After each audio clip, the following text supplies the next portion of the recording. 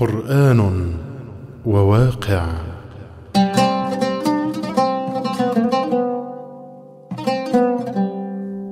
رحلات يومية من واقع الإنسان إلى حقائق الإيمان مع الشيخ الدكتور عبد الله سلقيني.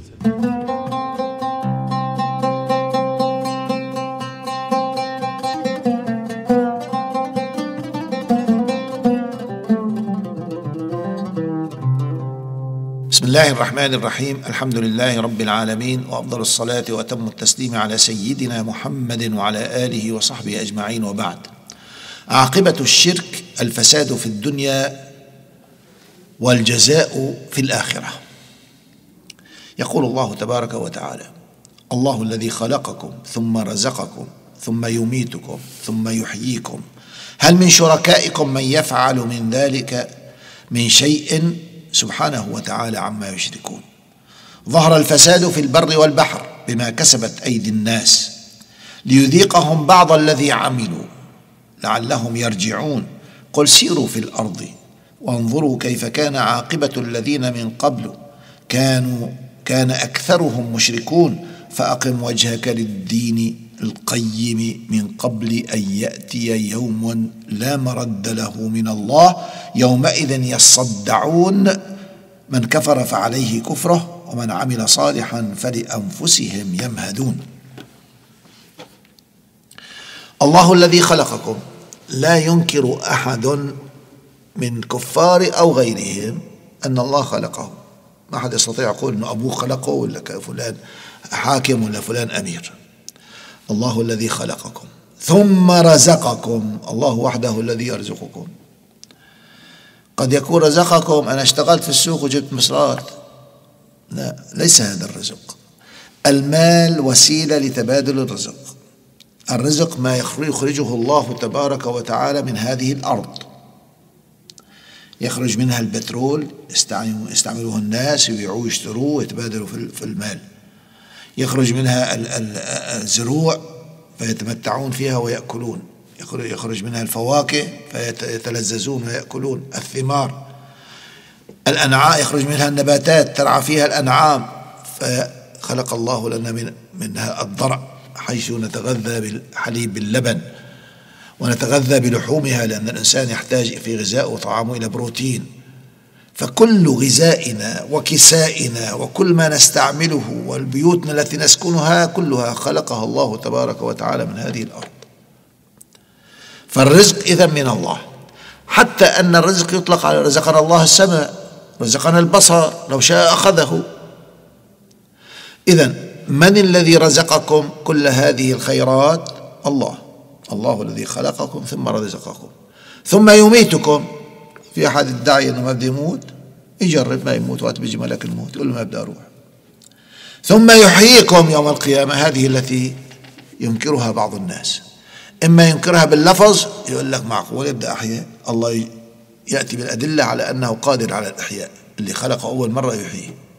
وإما أن يكون مكذب بالإحياء وفي الآخرة بعمله يعني لا يهتم بأمر الله ولا يطيع الله بل يطيع المخلوق.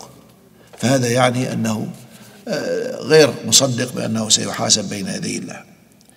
ثم يقول سبحانه هل من شركائكم من يفعل من ذلكم من شيء؟ شركائكم يعني الذين تشركونهم مع الله في الألوهية الإله يعني المعبود. تشركونهم مع الله في الطاعة هذول من شركائكم. هل من شركائكم من يفعل من ذلكم من شيء؟ هل يستطيع أحد من الذين تعبدونهم وتطيعونهم من دون الله تطيعونهم في معصية الله تجعلوهم شركاء لله هل يستطيع أحد أن يرزق أو يحيي أو يميت؟ لا يستطيع أحد. لا يستطيع أن يفعل شيء من هذا إلا الله وحده. سبحانه وتعالى عما يشركون تنزيها له عما يشركون به من المخلوقات. ثم يقول سبحانه وتعالى ظهر الفساد في البر والبحر بما كسبت أيدي الناس ليذيقهم بعض الذي عملوا لعلهم يرجعون. ظهر الفساد. كل طاعة لله صلاح وكل معصية لله فساد. فالذين يفسدون في الأرض يهتكون الأعراض ينشرون البغي والفساد في المجتمع يزعمون أنهم تقدميون أنهم يقومون المجتمع يحررون المجتمع. هؤلاء يفسدون المجتمع يخربون المجتمع. عندما يظهر الزنا تظهر التفكك الاجتماعي. الإنسان يا إخواني اجتماعي بطبعه. فعندما لا يشعر أن ابنه أو ابنته هذه منه ويشك في ذلك لماذا يتعب؟ لينفق عليه أو عليها. تجنب لتحققه وأتيكم بمثل واقعي. أحد أساتذتنا درس في فرنسا. دكتور في الجامعة كان يدرسنا. ذهب ليستأجر بيت. ما استطاع أن يجلس في الفندق لأن الدراسة لا تستطيع يعني لا يستطيع أن يقوم بها بالفندق. فبده يستأجر بيت. بيت كبير طبعا صعب عليه. فبحث عن غرفة لها مخرج جانبي. ومرافق كأنها غرفة فندق وكأنها بيت خاص فيه وحصل ذلك. أعطاه الدلال العنوان وأخذ منه الرعبون وذهب ليستأجر. هو يدخل في حديقة المنزل في فرنسا باريس وجد فتاة تبكي بكاء مرا فلفتت نظره ودخل إلى البيت فقابلته سيدة البيت مالكة البيت. وبين لها أن الدلال فلان أرسله أرسله لعندها من أجل أن يستأجر.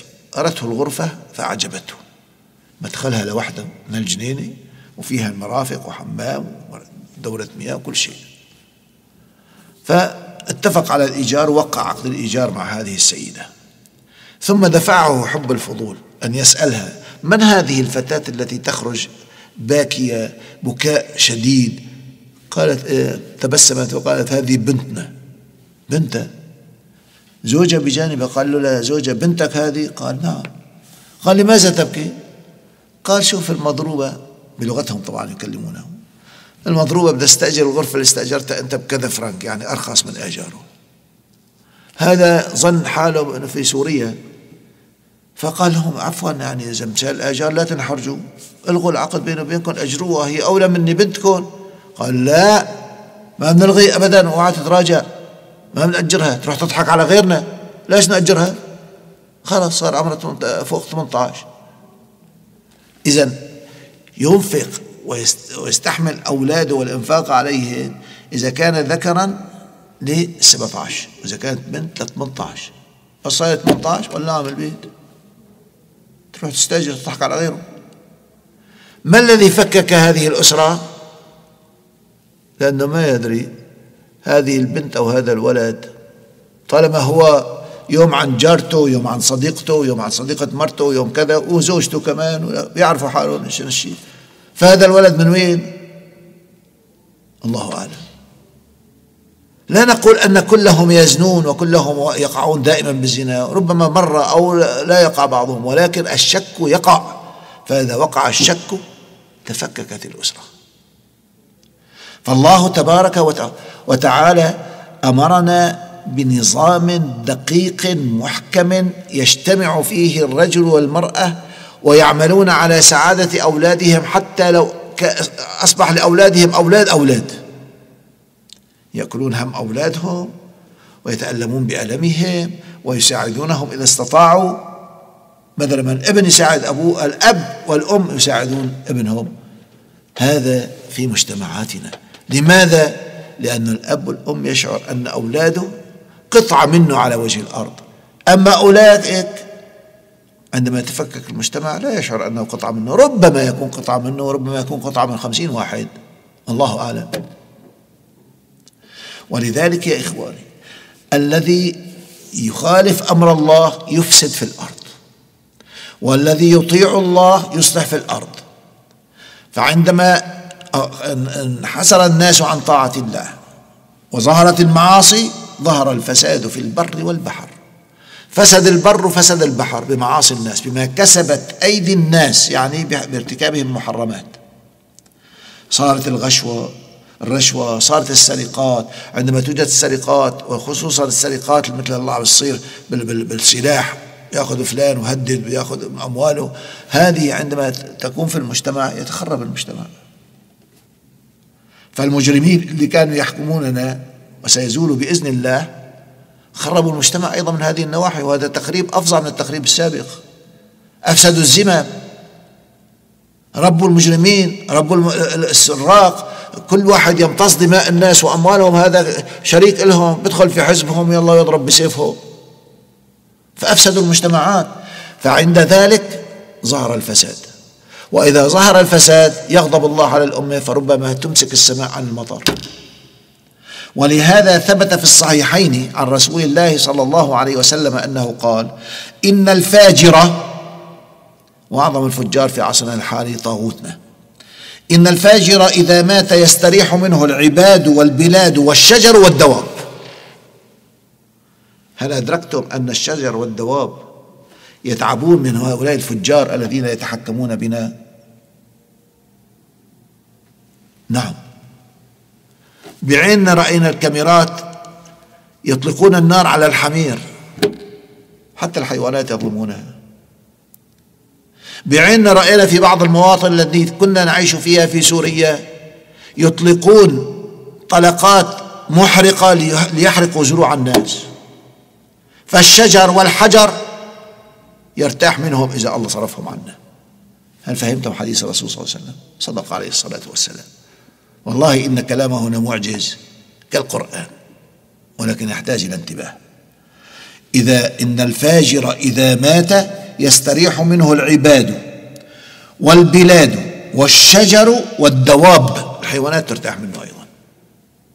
نسأل الله سبحانه وتعالى أن يذهب عنا الفجار وأن ينقذنا منهم وأن يدمرهم تدميرا وأن يجعلهم عبرة لمن يعتبر.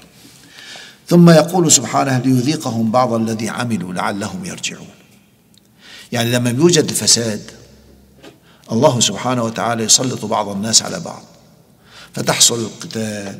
ولا تستقيم أمورهم ويحصل القتل ويحصل كذا. كل ذلك يذيقهم الله. لماذا؟ لعلهم يرجعون إلى الله ويتمسكون بأمر الله ويجتمعون على أمر الله. لا يجتمعون على أمر غيره. إذا اجتمعوا هذا يجتمع على أمر أمريكا مثل العملاء كما تعرفونهم من بعض الحكام أو غير الحكام. وهذا يجتمع على روسيا وهذا يجتمع على الصين وهذا يجتمع على كذا. فيتفرقون يكونوا مشركين. أما عندما يرجعون ليذيقهم بعض الذي عملوا لعلهم يرجعون يرجعون إلى الله يتمسكون جميعا على أمر الله يتركون السرقة ويتركون الكذب ويتركون طاعة المخلوق في معصية الخالق ويتركون طاعة الطاغوت ويرجعون إلى الله يصلون كما مر في نص سابق لا تكونوا أقيموا الصلاة ولا تكونوا من المشركين. والذي يقيم الصلاة. يقول الله أكبر الله أكبر عنده أكبر من كل شيء. عندما يقرأ في صلاته إياك نعبد يعني لا نعبد غيرك يا الله ولا نطيع غيرك. غيره عندما نتمسك كلنا ونتفق على هذا لا يستطيع أن يتغلب علينا لا شرق ولا غرب ابدا. إنما نرجع إلى الله ويكون عاقبة الأمر لنا ونصر الله لنا. فهذه سنة الله في الأرض أن كل من خرج عن أمر الله سيذيقه الله سبحانه وتعالى ما عمل. ثم يقول سبحانه وتعالى قل سيروا في الأرض. قل سيروا في الأرض فانظروا كيف كان عاقبة الذين من قبل أي من قبلكم أو من قبل ذلك. كان أكثرهم مشركون. كان أكثرهم مشركون بالله تبارك وتعالى ولذلك أهلكهم الله إهلاكا جماعيا. وفي العصر الحاضر كثير من الناس من المكذبين في العصر الحالي يهلكهم الله إهلاكا جزئيا. لن يهلك الله أمة محمد صلى الله عليه وسلم إهلاكا جماعيا. لأن الله تبارك وتعالى تكفل له بذلك. وما كان الله معذبهم وأنت فيهم وما كان الله معذبهم وهم يستغفرون. إذا كان يوجد في أمة محمد صلى الله عليه وسلم من يتمسك بسنة الرسول عليه الصلاة والسلام ولو كانوا قلة في بعض الأحيان وإذا كان يوجد في أمة محمد صلى الله عليه وسلم من يستغفر الله لا ينزل الله عليهم عذابا ماحقا يميت الأمة الإسلامية كلها. أبدا. إكراما لمحمد صلى الله عليه وسلم وإكراما للاستغفار والرجوع إلى الله. ولكن يهلك الله الناس إهلاكا جزئيا بسبب أن أكثرهم كانوا مشركون. عندما يكثر الشرك في الأمة وفي المجتمع يهلكهم الله إهلاكا جزئيا. فأقم وجهك. ما هو الطريق السوي الذي نصل فيه إلى السعادة في الدنيا والآخرة؟ ونتحرر من العبودية لغير الله. فأقم وجهك للدين القيم. اجعل حياتك متجهة دائما ملازما اجعل نفسك ملازما دائما لما يمليه الدين المستقيم. الدين القيم الدين المستقيم. الذي أنزله الله. ما هو الدين المستقيم؟ تستسلم للطاغوت فرعون فلاني؟ ولا تأتمر بأمر فلان؟ أمرك أنه هذول الشعب خرجوا عن أمر الحاكم اللي هو عميل للكفار والعياذ بالله تعالى. خرجوا عن أمر بيطيعوا الله. أو أمروك تقتلهم تقتلهم. وتطيعوا لا. إذا فعلت ذلك فأنت مشرك بالله. تطيع غير الله في معصية الله تبارك وتعالى. الدين القيم الدين المستقيم هو الاستسلام لله. الإسلام يعني الاستسلام لله والتحرر من العبودية لغير الله. فأقم وجهك للدين القيم من قبل أن يأتي يوم لا مرد له من الله. لا أحد يستطيع أن يرد هذا اليوم. عندما يصبح الكفار والمؤمنون والجميع عند الله يوم القيامة الكافر يقول رب ارجعوني لعلي أعمل صالحا. كلا إنها كلمة وقائلة. ما في رد ما في رجوع إلى الدنيا. لا مرد له لا يرد هذا اليوم عن البشر أبدا. لا يرده أحد من الله. لا مرد له من الله. يومئذ يصدعون. الصدع انصدع الإناء انكسر صار قسمين. يومئذ يصدعون يعني يتفرق الخلق أشتاتا فرقتين. فرقة إلى جهنم وفرقة إلى الجنة. فيقول سبحانه وتعالى في آخر الآية من كفر فعليه كفره. ما معنى كفر؟ ستر الحق ولم يطع الخالق. الخالق هو الذي يرزقه هو الذي خلقه هو الذي يحرك يسير اللقمة في جوفه والغذاء في جوفه. هذا ما بطيعه وبطيع مخلوق مثله. فهذا عليه كفره يعني جزاء كفره عليه في جهنم والعياذ بالله تعالى وهو الخلود في النار. ومن عمل صالحا ما هو العمل الصالح؟ الذي أمر به الله. لا الذي تأمر به أمريكا ساوي انقلاب بساوي انقلاب. لا هذا ما هو عمل صالح. حكم العسكر ما هو عمل صالح. هذا طاعه لشياطين الإنس أو الجن وهو شرك وصاحبه في جهنم وبئس المصير فليفهم المسلمون من هم أعداؤهم ومن هم أصدقاؤهم. ومن عمل صالحا أي أطاع الله تبارك وتعالى مو عن الإسلام إسلام سياسي وإسلام مدري إيش ما بده الإسلام يعني بده إسلام سياسي هو بده إسلام مو سياسي بده إسلام أمريكي. لعنة الله على الظالمين المشركين. من عمل صالحا أي مطيعا لطاعة في طاعة الله تبارك وتعالى واستسلم لأمره فلأنفسهم يمهدون. بنفع نفسه. شلون واحد بيمهد الفراش حتى ينام ومرتاح عليه وما يصيبه فيه أي شيء ما يصيبه من فراشه أي شيء يسوءه فكأنه يمهد الفراش. هذا اللي بيعمل صالح يمهد لنفسه في الآخرة مكانا في جنة الخلد. جنة عرضها السماوات والأرض أعدت للمتقين. نسأل الله تبارك وتعالى أن يحشرنا مع الصادقين ويرزقنا الخلود في جنة الخلد والحمد لله رب العالمين.